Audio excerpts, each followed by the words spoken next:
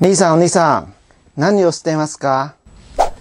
今ね、新しい動画を YouTube にアップしてる。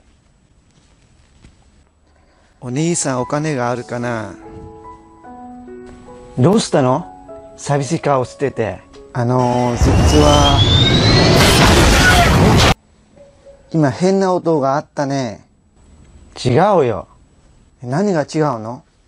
すげえ音があったんじゃないですか？そうなんですけど、違うっていうのは、お前の日本がおかしいっていうことだ。Vâng, à, các bạn đã biết cậu ta sai ở đâu không? Trong sơ cấp thì các bạn đã học mẫu ngữ pháp có cái gì đó nani nani ga aru và có ai đó dare dare ga iru. Rồi phải không ạ? Thế nhưng đối với những cái cảm giác của con người thì chúng ta không thể sử dụng mẫu câu này được. Ví dụ về thính giác, tức là đôi tai của chúng ta khi mà chúng ta nghe được tiếng động nào đó thì người Việt Nam chúng ta hay nói rằng là có cái tiếng động. Tương tự, cái mũi của chúng ta tức là khứu giác khứu giác. Khi mà chúng ta ngửi thấy mùi cháy, mùi khét hay là mùi thơm nào đó thì chúng ta cũng thường nói rằng là có cái mùi gì đó, đúng không? Chẳng hạn như.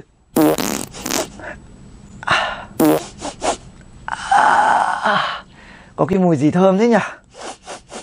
Đối với những trường hợp như vậy thì trong tiếng nhật người ta sẽ không sử dụng động từ a đự nữa mà người ta sẽ sử dụng động từ sư đự à, tuy nhiên có một cụm như thế này đó là gá sư đự tuy nhiên trong hội thoại tức là trong giao tiếp thì người ta thường chia động từ đó về dạng tiếp diễn đó là gá stay hoặc là chia sang dạng mas sẽ là gá stay mas mà nói thì hầu hết người ta sẽ bỏ y ở à, động từ chia ở dạng tiếp diễn. À, vì thế các bạn cũng bỏ y đi để nói nhanh hơn và nghe được rõ hơn nhé. Quay trở lại với mẫu câu gá sư lự thì chúng ta sẽ có những cái ví dụ cụ thể sau đây. Ví dụ đối với tiếng động thì chúng ta sẽ có rằng là henna oto ga shiteru. Henna oto ga shiteru ne. Hay là suge oto ga shitemasu ne. Suge oto ga shitemasu ne.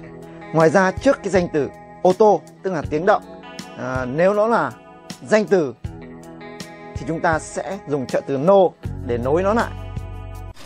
Ví dụ như bike no oto 車の音、飛行機の音、エアコンの音。車の音がしてますね。車の音がしてますね。Mùi trong tiếng Nhật sẽ là nioi. Nioi. Có mùi gì thơm thế? いい匂いがしてますね。いい匂いがしてるね。これ、変な匂いがしてるね。Tương tự đối với danh từ thì chúng ta lại dùng trợ từ no để nối nó lại nhé. Ừ, ví dụ, ừ, Betonamu nioi hay là uh, Osanai no nioi. Aji, aji tức là vị nhé. Aji tức là vị. Thì uh, này vị ngọt ngọt nhỉ. Kore, amai aji ga shiteru ne.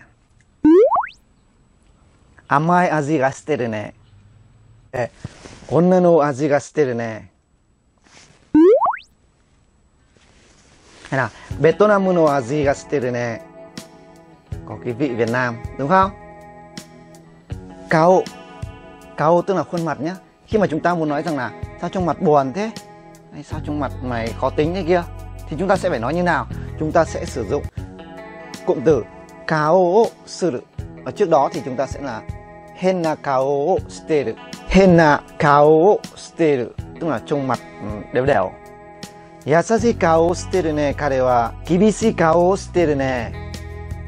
Bác Sang は厳しい顔をしてるね. Thế bây giờ muốn nói câu à, mặt con bé kia trông ngon thế thì nói thế nào anh? À, ôi xí cao shiteru ne anoko.